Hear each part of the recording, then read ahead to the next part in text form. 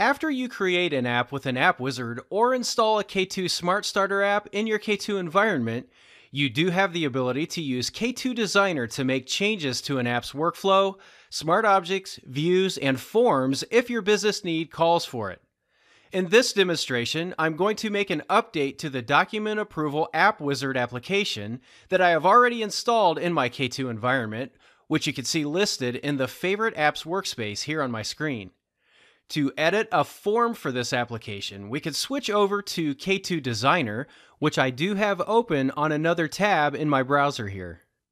To get down into the location where this app was created, we can click on the Browse button to bring up the All Items category structure for this environment.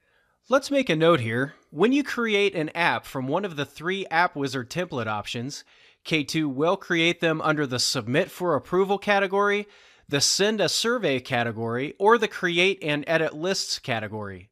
These categories line up with the Approval, Survey, and List collaboration template style apps on the new app screen when you create an app.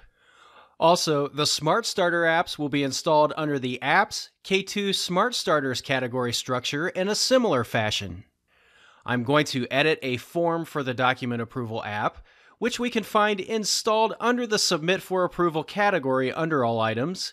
I'll open that up and go down into the Document Approval Application category for this app. Notice K2 organizes all the K2 elements for this app, like forms, views, smart objects, and workflows, down into their own folders, essentially. You can edit any of the elements from here as needed. I'm going to open up the Forms category and go down to the Document Approval Application Submit form and select it. Just like any other application, we will need to check this form out before we can make any changes to it. You can either right click on the form and select Checkout from the menu options, or you can select Checkout from the list of options over in the middle of the page. I'll click on the Checkout option for now, then click Edit to open up the form. Remember, my changes to this form will not be visible to users until I've checked them back in. Notice with this form, we get all the same edit options available when building a custom application. You can edit layout, parameters and rules, you can drop new views within this form, or even add buttons and other controls as needed. You can also select a theme and configure various other properties if necessary.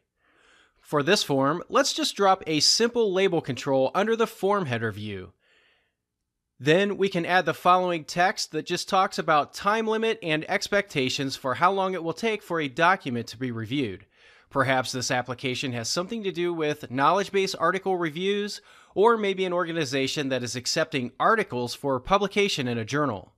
Whatever the case, I can also edit the style for this text to make it stand out a bit more, I'll do that by opening the Styles Configuration setting and select Italic from the Style drop-down list.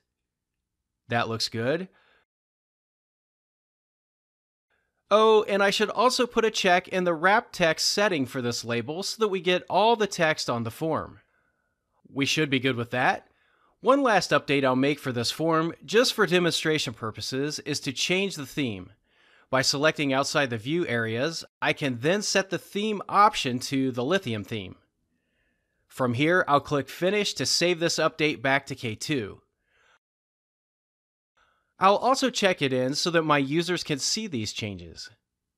Let's review this change by going back over to the app that is running in my other tab in the Favorite Apps workspace. I'll click on the Submit New Request form here and there you can see the submission note shows up right where we put it just below the header view. In review, remember that you have the ability to make changes like this to all of the applications that you install or create within the apps area using K2 SmartStarters and AppWizards.